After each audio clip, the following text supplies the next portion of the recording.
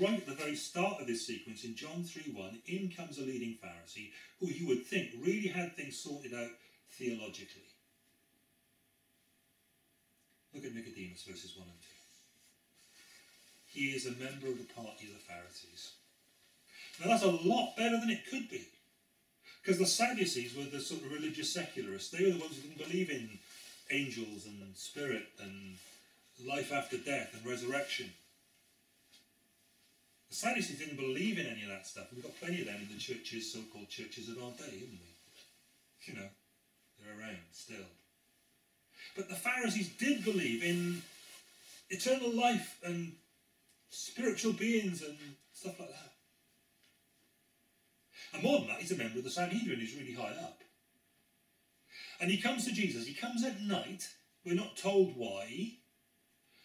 It's possible he's scared of being seen by everybody. He comes along and says, Look, we. He always speaks in the plural of Jesus. He says, You know, we know that you're a teacher come from God. Not I, we.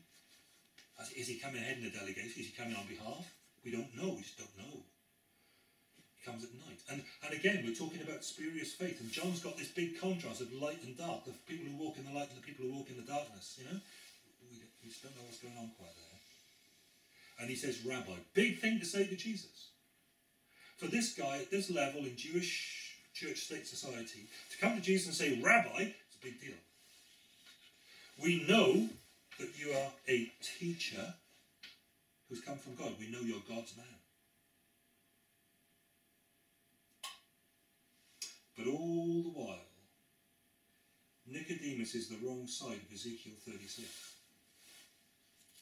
God has not removed his old heart of stone and given him a heart of flesh. Yes, he's a resurrection man. He's a spiritual world believing religious teacher and theologian, but he's not yet been born again, the way the Bible puts it. And he surely won't have been spoken to the way Jesus speaks to him before. Especially when he's being extremely polite and giving Jesus a great deal of credit.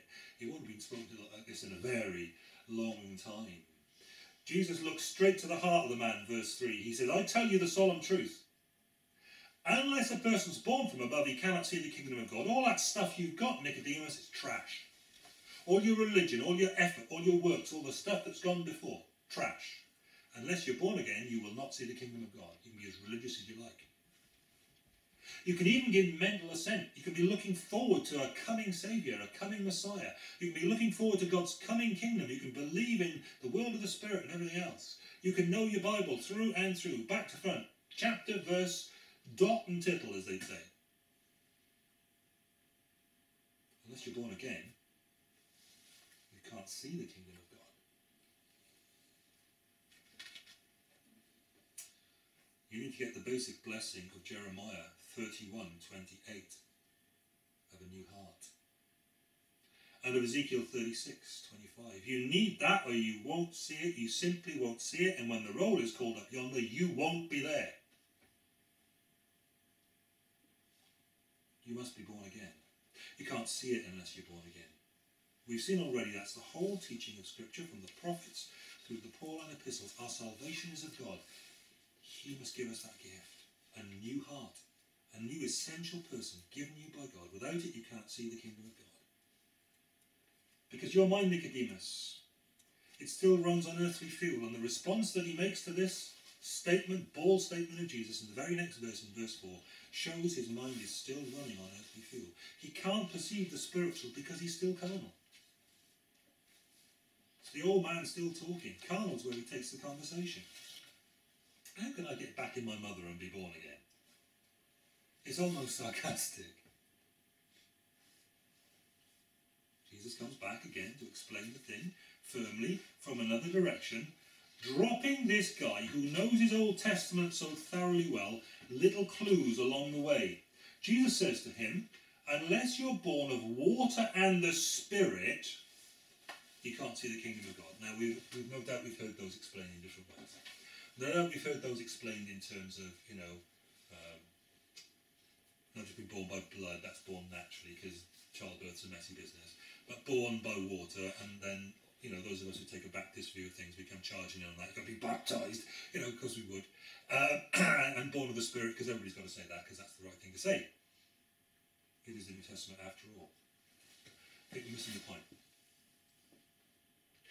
Where, in connection with needing to be born again and having a new man there, where are spirit and water mentioned in the Old Testament? See, this guy has got chapter and verse on all this stuff. He's learned this stuff inside out. You've only got to push a button and he gets the picture. So, what's the button that's being pressed when Jesus says water and the spirit and the context of being born again? Ezekiel 36 again. Ezekiel 36, 25 to 7. Water and spirit come together incredibly forcefully. With these people who've been in exile and are being returned by God, and He's, he's enabling them now to, to walk with Him and to keep His covenant and to walk in His ways, His new covenant. Because of their experience of the Spirit being made a, new person and being washed, cleansed from impurity. So you've got water and spirit coming together in Ezekiel 36 the first, the water, to depict cleansing from impurity, and the second, to depict the transformation of heart that will enable God, uh, enable people to follow God wholeheartedly when the Spirit comes.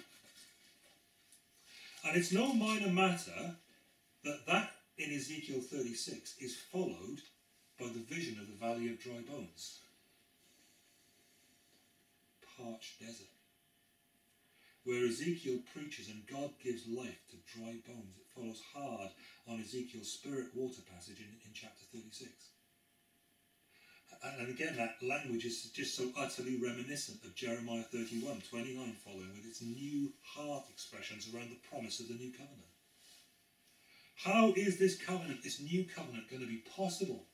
Where people are going to be able to turn from sin and trust Christ, walk with God, be saved because a new man has to be put in there because the old man's not getting it, getting it at all and never going to.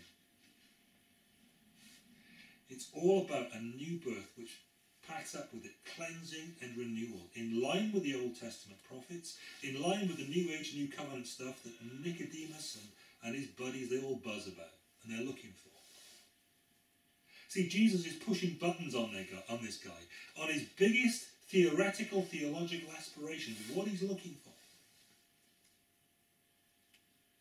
Now, please be sure of this. Jesus is not demanding that Nicodemus prays the prayer and experiences the new birth at this very moment. He's not insisting that Nicodemus accepts the four spiritual laws. He's not saying acknowledge, believe, confess, do, and then you will be born again. He's saying what you need is to be born again. And then these things follow. The water of purification. The experience of the Spirit making you a new man. That's the direction of travel. It's not simply yours to do. Jesus is simply forcefully articulating what is necessary not for Nicodemus to do, but for God to do, that passive, secret work of God. If anyone is to act in such a way then as to have redemption applied to them by repentance and faith. And, and, and verse 7 has it. Not for you to do, but you must be born again. To be in a position to repent and believe the gospel, God needs to give you a new heart. Oh, Nicodemus. You are the Reverend Professor and Doctor, and still you don't understand. You don't understand your long past Ezekiel and Jeremiah Sunday school lessons, do you? You people with all your religious sophistication, you still don't understand these things? You still don't get it? You people? You still don't get it. Evidence to you of what you need and haven't had. You need God to make a new man of you. You must be born again.